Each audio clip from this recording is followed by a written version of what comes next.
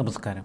മലയാളി വാർത്ത ഇൻസൈഡിലേക്ക് സ്വാഗതം. പൂക്കളും പച്ചപ്പുമൊക്കെയുള്ള സുൽത്താൻ ബത്തേരി മനോഹരമാണ് ഹാപ്പി ബത്തേരി എന്നും പറയും.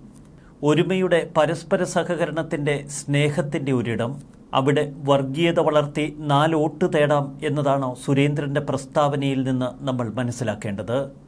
ആനിരാജയും ഇടതുപക്ഷ നേതാക്കളും യു ഡി എഫ് നേതാക്കളുമൊക്കെ സുരേന്ദ്രനെ കടന്നാക്രമിക്കുന്നു. ഇന്നത്തെ സുൽത്താൻ ബത്തേരിക്ക് ഗണപതി വട്ടം എന്നായിരുന്നു പേര്. ഇതാണ് വിവാദങ്ങൾക്ക് തുടക്കമിട്ട കെ സുരേന്ദ്രന്റെ പ്രസ്താവന. എന്നാൽ ഗണപതി വട്ടത്തെക്കുറിച്ച് പഠിക്കുമ്പോൾ സുരേന്ദ്രന്റെ പ്രസ്താവനയെ നമുക്ക് പൂർണമായി തള്ളിപ്പറയുക വയ്യ. ഇതിന് നൂറ്റാണ്ടുകളുടെ പഴക്കമുണ്ട്. ടിപ്പു സുൽത്താൻ എന്ന അക്രമി ഇവിടെയെത്തി താവളവും ആയുധപ്പുരയും സ്ഥാപിച്ച് പിന്നെ കാലങ്ങൾ കഴിഞ്ഞാണ് തിരികെ പോകുന്നത്.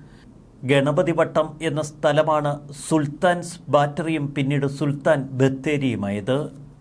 കെ സുരേന്ദ്രൻ ഇത്തരമൊരാശയം കേരളത്തിന് മുന്നിൽ അവതരിപ്പിക്കേണ്ട സമയം ഇതാണോ എന്ന ചോദ്യം ഒരുപക്ഷെ സ്വാഭാവികമായി ഉയർന്നേക്കാം. എന്നാൽ തെരഞ്ഞെടുപ്പ് കാലമായതുകൊണ്ട് അതിന് വലിയ വാർത്താ പ്രാധാന്യം ലഭിക്കുന്നു.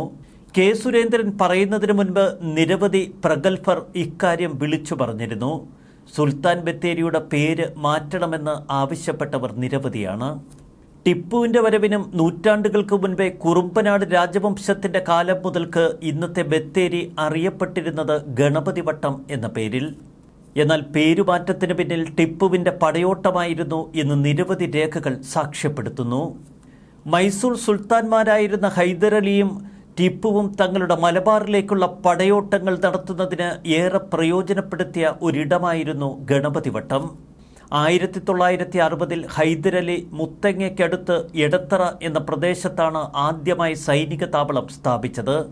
പിന്നീട് ആയിരത്തി എഴുന്നൂറ്റി അറുപത്തി ആറിന് ശേഷം മൈസൂർ സുൽത്താന്റെ സൈന്യം മലബാറിൽ എത്തി. ചിറക്കൽ കോട്ടയം കടത്തനാട് എന്നീ നാട്ടുരാജ്യങ്ങൾ കടന്നാക്രമിച്ചു. ആയിരത്തി എഴുന്നൂറ്റി എൺപത്തി ഒന്നിൽ ഹൈദരാലിയുടെ മകൻ ടിപ്പു വയനാട്ടിലേക്ക് എത്തുകയും തന്റെ സമ്പത്ത് വർദ്ധിപ്പിക്കുക എന്ന ഉദ്ദേശത്തോടെ മലബാറിലെ തന്നെ വിവിധ രാജ്യങ്ങളും പേരുകേട്ട തറവാടുകളും ക്ഷേത്രങ്ങളുമൊക്കെ കൊള്ളയടിക്കുകയും ചെയ്തു. ഈ ആക്രമണങ്ങളോടനുബന്ധിച്ച് നിരവധി പേരെ മതപരിവർത്തനത്തിന് ഇരയാക്കി എന്നും ചരിത്രരേഖകൾ സാക്ഷി. ആക്രമണങ്ങൾക്കെല്ലാം ടിപ്പു ആസ്ഥാനമാക്കിയത് ഗണപതി വട്ടമായിരുന്നു ഇതാണ് കെ സുരേന്ദ്രനെ ഇത്തരമൊരു പ്രസ്താവനയ്ക്ക് നിർബന്ധിച്ചത്. ഗണപതി വട്ടത്തിന് സമീപമുണ്ടായിരുന്ന കിടങ്ങനാട് ജൈനക്ഷേത്രം ആക്രമിച്ച് കീഴടക്കി ക്ഷേത്രവും ക്ഷേത്രത്തിന്റെ പരിസരവും ആയുധപ്പുരയാക്കി മാറ്റി. അവിടെ വെടിമരുന്നുകളും ആയുധങ്ങളുമൊക്കെ സൂക്ഷിച്ചു. അങ്ങനെ സുൽത്താന്റെ ആയുധ കേന്ദ്രം എന്ന നിലയ്ക്ക് ബ്രിട്ടീഷുകാർ ഗണപതി വട്ടത്തിനെ സുൽത്താൻസ് ബാറ്ററി എന്ന് വിളിക്കുകയും കാലക്രമേണ സുൽത്താൻ ബത്തേരി എന്നറിയപ്പെടുകയും ചെയ്തു. ഗണപതി വട്ടമായിരുന്നു പഴയ പേര് എന്ന് സുൽത്താൻ ബത്തേരിയുടെ മുനിസിപ്പാലിറ്റി വെബ്സൈറ്റിലുണ്ട്. ഹൈദരലിയുടെയും ടിപ്പുവിന്റെയും പടയോട്ടക്കാലത്ത് ഇവിടം ഗണപതി വട്ടമായിരുന്നു നൂറ്റാണ്ടുകളുടെ പഴക്കമുള്ള ഗണപതി ക്ഷേത്രം തന്നെയാണ് ഈ പ്രദേശത്തെ ഗണപതി വട്ടമാക്കി മാറ്റിയത്. ഐ സി എച്ച് ആർ മുന്നംഗം പ്രൊഫസർ സി ഐ ഐസക് കുറച്ചുകൂടി കാര്യങ്ങൾ വ്യക്തമാക്കുന്നുണ്ട്.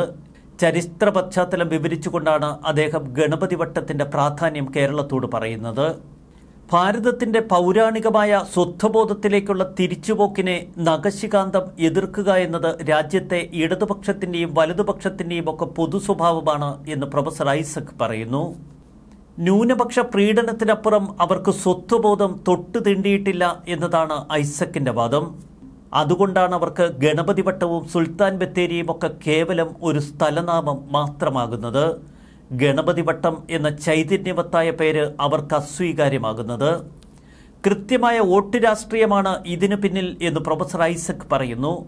മറുവിഭാഗം ചോദിക്കുന്നത് കെ സുരേന്ദ്രൻ വോട്ട് ലക്ഷ്യമിട്ടല്ലേ ഈ തെരഞ്ഞെടുപ്പ് വേളയിൽ ഇത്തരമൊരു വിഷയം ഉയർത്തിവിട്ടതെന്ന്. എന്നാൽ വയനാട്ടിൽ മത്സരിക്കുന്ന കെ സുരേന്ദ്രൻ പറയുന്നത് താൻ വയനാട് പാർലമെന്റ് മണ്ഡലത്തിൽ സ്ഥാനാർത്ഥിയാകുമ്പോൾ സുൽത്താൻ ബത്തേരിയുടെ കാര്യം ഉന്നയിക്കണ്ടേ എന്ന്. താൻ വിജയിച്ചാൽ സുൽത്താൻ ബത്തേരിയുടെ പേരുമാറ്റുമെന്ന് കെ സുരേന്ദ്രൻ. സുരേന്ദ്രൻ തലകുത്തി നിന്നാലും പേരുമാറ്റില്ല എന്ന് ടി സിദ്ദിഖ്. സുൽത്താൻ ബത്തേരിയുടെ യഥാർത്ഥ പേര് ഗണപതി ഭട്ടം എന്നു തന്നെയാണ് എന്ന് പ്രൊഫസർ ഐസക് പറയുന്നു. ആ പേരിൽ തന്നെ ആ പ്രദേശം അറിയപ്പെടണമെന്ന് താൻ പല പ്രസംഗങ്ങളിലും സൂചിപ്പിച്ചിട്ടുണ്ട്. രാജ്യത്ത് ആദ്യമായല്ല ഒരു നാടിന്റെയോ സംസ്ഥാനത്തിന്റെയോ പേരുമാറ്റം നടക്കുന്നത്. അതൊക്കെ ചെയ്തത് ബി സർക്കാരുകളുമല്ല. ബി ജെ പി ചെയ്യുമ്പോൾ മാത്രം അതിൽ വിവാദം ഉയർന്നു വരുന്നുവെന്നാണ് പ്രൊഫസർ ഐസക് പറയുന്നത്. ആയിരത്തി തൊള്ളായിരത്തി തൊണ്ണൂറ്റി ആറ് വരെ മദ്രാസ് എന്നറിയപ്പെട്ട സ്ഥലം പിന്നീട് ചെന്നൈയായി മാറി ബാംഗ്ലൂർ ബംഗളൂരുവായി മാറി കൽക്കട്ട കൊൽക്കത്തയായി മാറി. ചില ഉദാഹരണങ്ങൾ മാത്രമാണിത്. തലസ്ഥാന നഗരിയിലെ പ്രസിദ്ധമായ B J T hall Victoria Jubilee town hall എന്ന പേരിലായിരുന്നു അറിയപ്പെട്ടിരുന്നത്. എന്നാൽ ഇടതുപക്ഷ സർക്കാർ ആ ഹാളിനെ അയ്യങ്കാളി ഹാൾ എന്ന് പേര് മാറ്റി. അയ്യങ്കാളി ഹാൾ എന്ന പേര് രണ്ടായിരത്തി പത്തൊൻപതിൽ പ്രഖ്യാപിച്ചത് മുഖ്യമന്ത്രി പിണറായി വിജയനാണ്. ശ്രീമൂലം പ്രജാസഭയിൽ അയ്യങ്കാളി നടത്തിയ നിരവധി ഇടപെടലുകൾക്കുള്ള അംഗീകാരം എന്ന നിലയിലായിരുന്നു ഈ പേരുമാറ്റം. അംഗീകരിക്കേണ്ടതിനെ അംഗീകരിച്ചേ പറ്റൂ. സുൽത്താൻ ബത്തേരിയുടെ കേന്ദ്രബിന്ദു ഇന്നും അവിടെ സ്ഥിതി ചെയ്യുന്ന ഗണപതി ക്ഷേത്രമാണ്. നിർമ്മിതി കണ്ടാൽ മനസ്സിലാക്കാൻ സാധിക്കുന്നത് അത് ഒന്നാം നൂറ്റാണ്ടിനടുത്ത് നിർമ്മിച്ച ഒരു ക്ഷേത്രമെന്നാണ്. ജൈനന്മാരുടെ ആഗമനത്തോടെയാണ് അവിടെ മനുഷ്യ വാസകേന്ദ്രമാകുന്നത് മലബാറുമായിട്ടുള്ള വ്യാപാരപാതയുടെ ഭാഗമായിരുന്നു ഇവിടം. കോട്ടയം രാജകുടുംബത്തിന്റെ അധീനതയിലായിരുന്നു പിന്നീട് ഈ ക്ഷേത്രം. ഹൈന്ദവ ക്ഷേത്രങ്ങളിൽ കടന്നുകയറ്റം നടത്തി ക്ഷേത്രങ്ങൾ കൊള്ളയടിക്കുകയായിരുന്നു ടിപ്പുവിന്റെ പദ്ധതി. പിൽക്കാലത്ത് ഭാരതത്തിന്റെ ചരിത്രമെഴുതിയ അധിനിവേശ ശക്തികൾ സുൽത്താന്റെ ആയുധപ്പുര എന്ന അർത്ഥത്തിൽ സുൽത്താൻസ് ബാറ്ററി എന്നീ സ്ഥലത്തിന് പേരിട്ടു. അത് പിന്നീട് പറഞ്ഞു പറഞ്ഞ് സുൽത്താൻ ബത്തേരിയുമായി. ഒരു പ്രദേശത്തിന്റെ ചരിത്രത്തെയും സ്വത്വത്തെയും ആരാണിവിടെ വളച്ചൊടിക്കുന്നത് എന്ന് പ്രൊഫസർ ഐസക് ചോദിക്കുന്നു.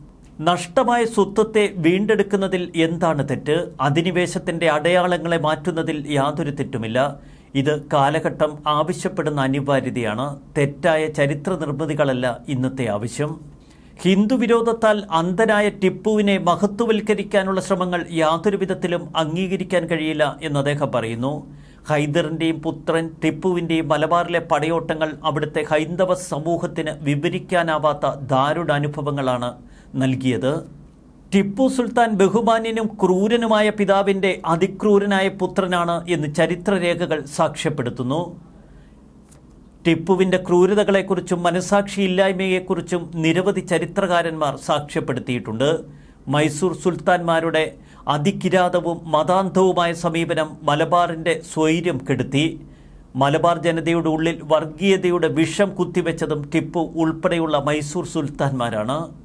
തിരുവിതാംകൂർ രാജാവിന് ബ്രിട്ടീഷുകാരുടെ സുഹൃത്തായി മാറാൻ പ്രേരണ നൽകിയതും ടിപ്പു ഉയർത്തിയ ഈ ഭീഷണി തന്നെയാണ്. മലബാർ രാജാക്കന്മാരുടെ ശക്തി ക്ഷയിപ്പിച്ചു കളഞ്ഞതും ഇതേ ടിപ്പു സുൽത്താൻ.